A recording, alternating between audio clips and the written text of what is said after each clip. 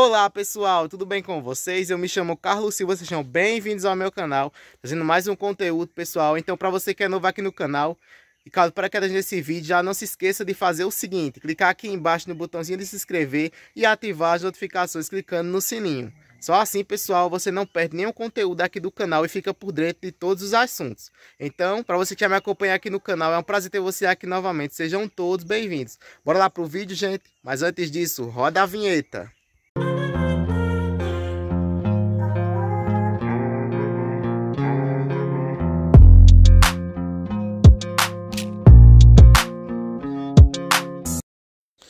E olha só, pessoal, como tá o clima por aqui hoje. Já são quase 4 horas da tarde. Choveu bastante agora à tarde, gente, ó. Climinha bem friozinho. E eu vou estar tá levando vocês junto comigo nessa aventura de hoje. Pra gente estar tá encontrando algumas mangas lá embaixo. Eu vou estar tá procurando uma manga rosa lá embaixo. Então, bora lá comigo ver se a gente encontra alguma. Olha só, gente, o feijão como tá bonito. Foi plantado recente, gente. Já tá todo nascido. Olha que lindeza. Os passarinhos cantando, gente. As rolinhas também. Tá tudo uma maravilha, graças a Deus. Olha o céu que lindo. Deu uma estiada, gente, porque choveu bastante agora à tarde. Já caiu água aqui. Eu vou colocar aqui um vídeo do lado para vocês verem como tava a chuva já à tarde aqui. Vou mostrar para vocês também nesse vídeo como tava aqui no jardim chovendo. Então, acompanha aí o vídeo.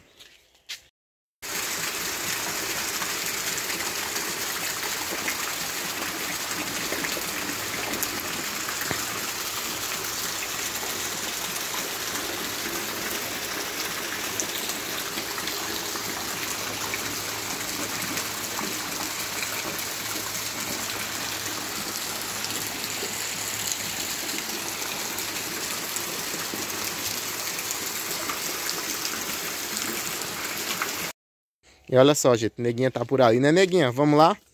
Vamos caçar uma, uma manga mais, mais, mais eu? Olha só, gente. Por aqui tá tudo molhadinho. Época de estar tá plantando aqui no sítio. Olha só, as romãs como estão. Então, bora lá, gente. Olha como tá bonita as flores. Aqui no jardim. Jardim suspenso, tá ali. E bora lá comigo, a gente... Bora lá, pessoal. A gente vai lá no pé de manga rosa. Olha só as pitaias que eu plantei ali, gente. Os cactos. Plantei aqui duas estacas. E outras lá pra cima, gente. Então bora lá. No pé de manga rosa. Pra ver se a gente encontra outras mangas, né? Algumas mangas. Porque tá acabando a safra, gente. Deixa eu girar aqui a câmera. Já tá acabando a safra, gente, de manga por aqui, então tem que aproveitar, né? Antes que acabe logo tudo. Então, tô indo lá embaixo agora, junto com vocês, né, nesse vídeo, para ver se eu encontro ainda algumas mangas rosa, porque depois acaba, a pessoa quer chupar manga e não tem mais, né? Então tem que aproveitar a safra. Ó, vou mostrar para vocês também outra safra que se a gente não souber aproveitar, se perde bastante. Olha só como tá florido que é a acerola, gente. A acerola, quando ela coloca, ela coloca bastante. Se a pessoa não souber aproveitar, se perde bastante. Então, eu sempre que, que posso e tenho um tempo, eu venho aqui, tiro bastante acerola e faço polpa, gente. Aí congelo, boto no, no liquidificador. Eu coloco no congelador, gente, para gelar, para pedrar, né? E fica lá conservando bastante tempo. Aí tem suco já coada, já toda prontinha, gente. Só colocar na, no liquidificador com água e açúcar e pronto, ter seu suco. Ou colocar leite, alguns gostam de suco de acerola, outras frutas com leite, né? Então é a gosto. Eu praticamente, praticamente, nem todo suco eu gosto com leite. Tem alguns que realmente eu gosto. Fica bem bacana essa mistura. E olha só, chegamos aqui debaixo do pé de manga rosa. E eu vou estar tá procurando umas mangas para colocar aqui no meu cesto, né? No balde. Então, tem umas aqui, gente, ó. Olha como essas estão bonitas. Tem outras aí escondidinhas. Mas com uma vara, pessoal, e com todo cuidado, eu vou retirando elas. Ó, o Scooby tá por ali, né, Scooby? Tá por aqui, passeando. Mostra pra vocês a barragem, como é que tá o nível da água. Olha.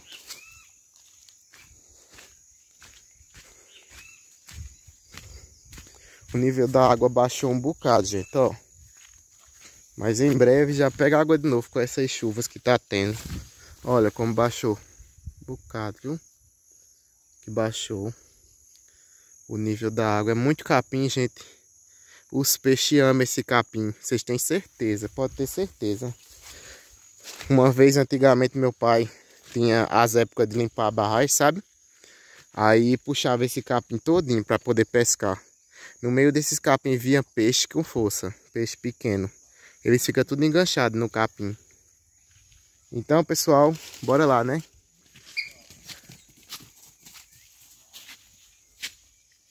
O que que tá fazendo, hein?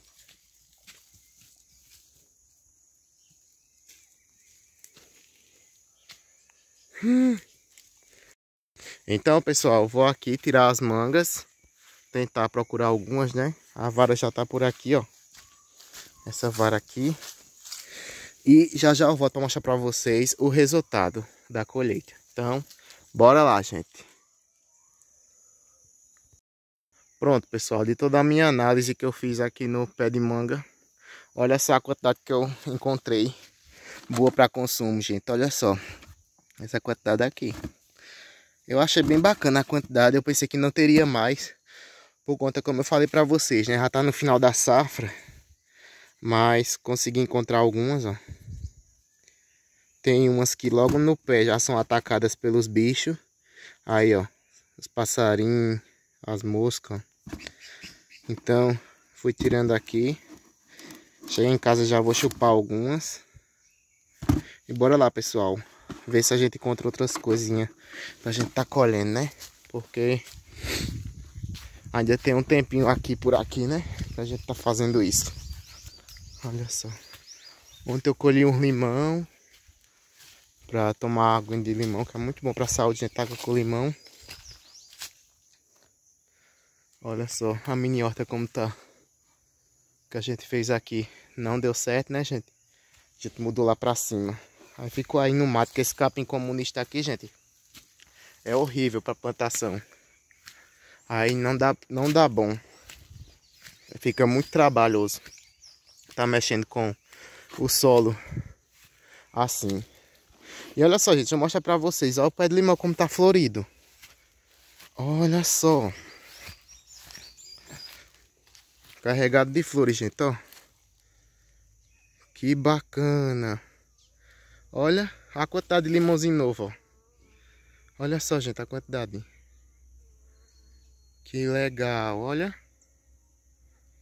Deixa eu ver se tá cheirosa. E é cheiroso, viu, gente? Vocês nem têm ideia. Cheiroso demais. Olha. Bem florido mesmo. Vai ficar carregado de limão, viu? Olha os novinhos aqui, gente, ó. Olha só os novinhos. Esse aqui é limão Tahiti, gente. Então, bora lá. Pegar ali o nosso balde, né? A nossa colheita de manga. Ainda bem que não foi à toa. Já tem lá embaixo. Que eu pensei que não teria mais nenhuma, gente. Sério mesmo. Que minha mãe disse, vá logo não. Tá acabando a safra da manga.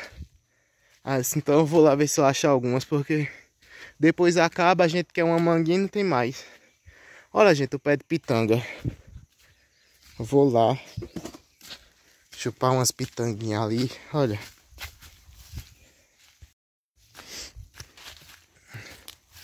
Olha só, gente, o pé de pitanga, mostra pra vocês. É esse daqui, ó. Ele tá bem pequeno ainda, mas já coloca pitanga, ó. Vou tirar aqui umas pra vocês verem. Ó.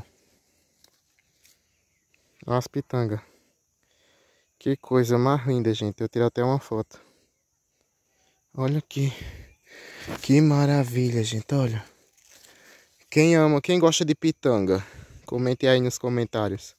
Eu gosto, pessoal, mas não sou muito fã. Às vezes, às vezes elas estão docinhas, às vezes elas estão azedas. Ó. Ó, essas que estão laranjinha estão azedas. Essas daqui estão... Ó, tem esse pezinho aqui também. Tem outra lá também, vermelhinha, bem escondidinha. Elas estão bem escondidinhas, gente. Ó, se a pessoa não, não fisgar mesmo o olho, não acha não. Olha. Aqui, uma bem escondidinha aqui. Vou levar pra minha mãe também. Vai que ela queira chupar pitanga. Pra você ver, gente, um pezinho de pitanga desse tamanho. Colocando já, ó, quantidade. Que maravilha, gente. Olha. Então bora lá. Vou colocar aqui no meu bolso do shot. Não eu machucar não, que estão bem guardadas aqui no bolso. E aqui, gente, é onde eu coloco as mudas de pitaia, olha só. Tem umas ali ainda. Aí aqui fica todas as mudas. Tá as estacas aqui para eu tá colocando elas no lugar para replantar a pitaia. Em breve eu quero trazer elas para cá, gente, ó. Tem esse espaço aqui, que fica bem ensolarado em cima. Vou plantar várias pitaias ali, várias estacas. Colocar as estacas e plantar os cactos da pitaia, gente. Como eu já plantei ali em cima, em outros lugares. E eu tava vendo que a pitaia é um fruto bem resistente.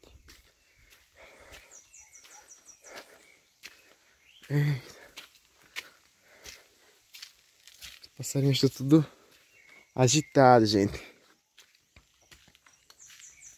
Aqui eles ficam bem à vontade, os passarinhos. Bem à vontade mesmo. Ó, o pai plantou rama aqui, ó, também de batata. Acha que ele vai cavar depois. E o feijão, ó como tá bonitinho o feijão. Vou mostrar pra vocês. Olha. Aqui o feijão, ó. Do lado da pitaia. Olha que maravilha. Tempo bom de plantar, gente. Quando tá assim, chuvoso, inverno. Olha só, agora sim, gente. Agora vai ter oliveira. Jamelão, como alguns conhecem, olha. Agora sim vai ter, viu? Porque tá carregado, gente. E é bom demais, viu? Pra quem gosta, eu gosto também. É uma delícia. Principalmente quando ela tá bem grandona, gente. É bom demais. Olha só.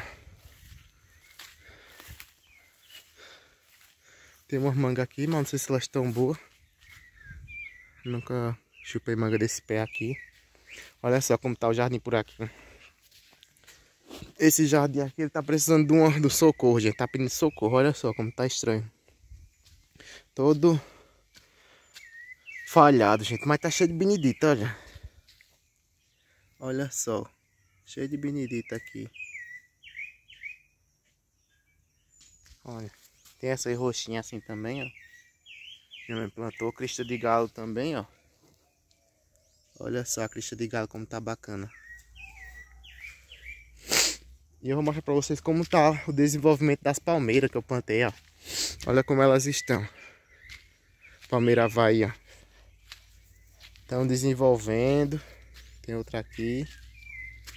Tem outra aqui também, gente, ó. Elas estão crescendo, né? Aqui foi onde caiu. Vocês lembram no vídeo anterior que a gente tava plantando pitaia e teve que cortar aquela estaca ali, a madeira, né? Caiu mesmo aqui em cima da, das macaxeiras, das maníferas. E olha o milho como tá bonito, o milho de eu mostrar pra vocês. E o feijão que eu plantei aqui junto mais ele, ó.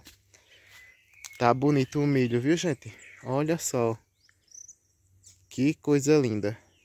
E o feijão nascidinha. Tomara que as galinhas não encontrem, que as galinhas não podem ver isso não, viu? E às vezes as galinhas dos vizinhos ficam vindo pra cá, gente. Faz uma arte aqui só, no roçado. Era pra dona aprender, né?